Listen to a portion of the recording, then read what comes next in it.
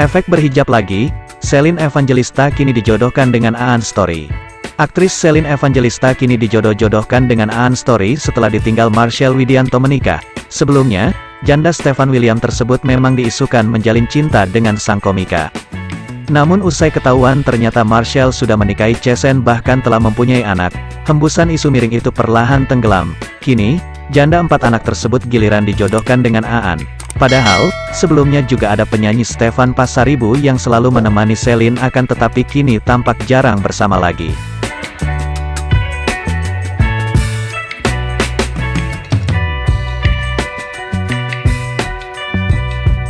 Tak ayal, Foto terbaru Selin dan Aan menuai beragam komentar positif dari warganet yang menyarankan agar mereka menikah saja.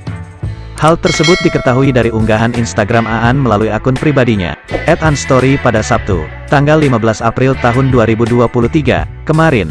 Dilansir banjarmasinpost.co.id dari unggahan tersebut, Minggu, tanggal 16 April tahun 2023, Aan membagikan fotonya sedang duduk berdua dengan Selin.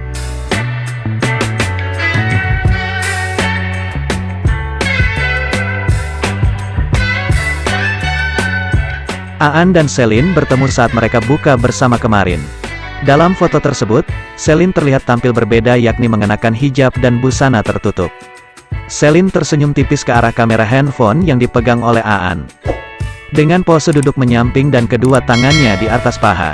Alhamdulillah tahun ini bukber JGF Selin garis bawah evangelista, ujarnya. Menanggapi itu, Selin tampak bereaksi bahagia melalui kolom komentar. Aan Story merupakan owner dari rumah Kece Management dan pemilik label musik Kece.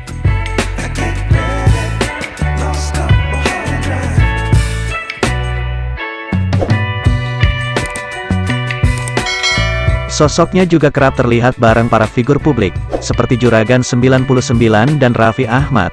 Penampilan Selin Evangelista berbusana muslimah kembali menuai sorotan. Kali ini, penampilan janda Stefan William memakai hijab dan dress panjang diabadikan oleh Aan Story. Ibunda Lucio Otil William dan Eadred Koa Alois Miguel tersebut memang sering memakai busana syarif, mantan istri Dearly Idol tersebut juga sempat terpergok abis sholat oleh temannya di lokasi syuting. Demikianlah konten ini kami sajikan jangan lupa like, komen, bagikan, dan subscribe.